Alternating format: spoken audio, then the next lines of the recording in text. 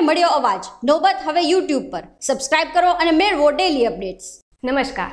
આજે તારીખ સાત નવેમ્બર, ગુરુવાર. નોબત ન્યૂઝ ફ્લેશમાં હું દિશિતા પંડ્યા. તો ચાલો જોઈએ આજના મુખ્ય સમાચાર. ગુજરાતના ફૂડ એન્ડ સેફ્ટી વિભાગે અગત્યનો પરિપત્ર જાહેર કર્યો છે. ગ્રાહકો કોઈપણ રેસ્ટોરન્ટ, હોટલ કે કેન્ટીનના રસોડામાં પ્રવેશ કરી શકશે. હોટલ અને રેસ્ટોરન્ટ સંચાલકોને આ મુદ્દે સૂચના આપવામાં આવી છે. આ પગલાંથી ભેળસેળ અને ગંદકીનું દૂષણ ઓછું થશે. જામનગરના સુપ્રસિદ્ધ માણેકભાઈ સુખધામ આદર્શ સ્મશાન ગૃહમાં હાલ બે ઇલેક્ટ્રિક ભઠ્ઠીની સુવિધા છે. જેમાંથી કિલુભાઈ વસંત પરિવારના આર્થિક યોગદાનથી બનાવેલ ઇલેક્ટ્રિક ભઠ્ઠીના સંકુલમાં ગેસ આધારિત ભઠ્ઠીની સુવિધા ઉપલબ્ધ કરવામાં આવશે. નેચરલ ગેસના ઉપયોગથી આ ભઠ્ઠી કાર્યરત થશે. જેના કારણે વીજ કાપ, વીજ પુરવઠો ખોરવાઈ જવો વગેરે સમસ્યામાં રાહત થશે. તેમજ ઇલેક્ટ્રિસિટીની સરખામણીમાં ઓછો ખર્ચ થશે.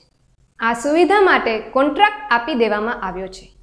અને આગામી નેવું દિવસમાં આ સુવિધા કાર્યરત થઈ જશે તેવી સ્મશાન સંચાલક સમિતિના દીપકભાઈ ઠક્કર, દર્શનભાઈ ઠક્કર, વિજયભાઈ, રમેશભાઈ દત્તાણી, વિશ્વાસભાઈ ઠક્કરે પત્રકાર પરિષદમાં માહિતી આપતા જણાવ્યું હતું.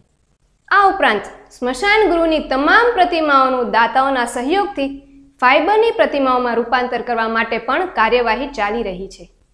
લાકડાથી અગ્નિદા આપવા માટેના શેડમાં પતરાના સ્થાને પથ્થરોનું વેન્ટિલેટેડ બાંધકામ કરવાનું પણ આયોજન સમિતિએ હાથ ધર્યું છે. આજે જામ્યુકોની સ્ટેન્ડિંગ કમિટીની બેઠક યોજાઈ હતી. બેઠકમાં તળાવની પાળ પર આવેલ બાલ્કનજી બારીવાળી જગ્યા અંગે નિર્ણય લેવાયો હતો. આ જગ્યા પર બાળકો માટે સાયન્સ નોલેજ પાર્ક તથા ટ્રાફિક અવેરનેસ પાર્ક બનાવવામાં આવશે. બેઠકમાં આ અંગે સૈદ્ધાંતિક સ્વીકાર કરવામાં આવ્યો હતો. ખંભાળિયાની સરકારી હોસ્પિટલમાં પૂરતા ડોક્ટર્સ નથી. સ્ટાફની જગ્યાઓ પણ ખાલી છે. દર્દીઓ હાલાકી ભોગવી રહ્યા છે.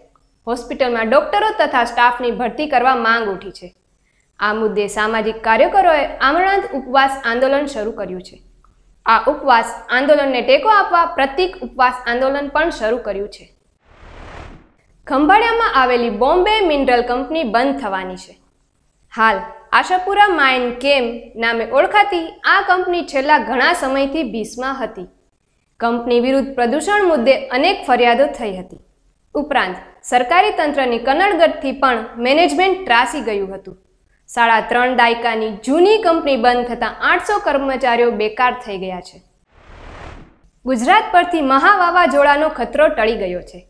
પરંતુ વાવાઝોડાને કારણે વરસાદ થવાની શક્યતા છે.